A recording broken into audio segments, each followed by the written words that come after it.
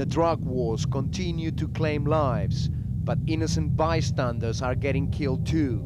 The murder rate has increased by one third. During my seven days in Cali, I would see the consequences of this deadly transition. Ten bodies, all victims of violence, all under the age of 25.